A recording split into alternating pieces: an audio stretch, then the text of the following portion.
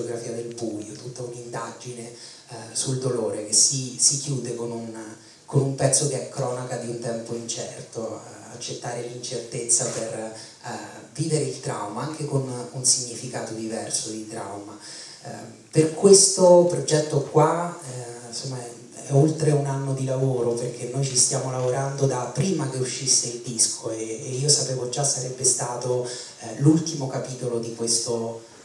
di questa parentesi musicale. Io ci tenevo tantissimo che ci fosse un concetto audiovisivo molto molto forte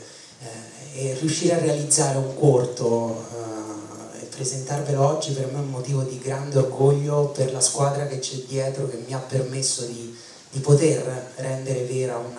un'idea che stava lì da tanto, tutto il disco era stato scritto con un'intenzione eh, cinematica, cinematografica estremamente forte, il fatto di poter vedere eh, questo racconto sul trauma diventare una storia, diventare un cortometraggio è, è bello e insomma io adesso ve lo farei vedere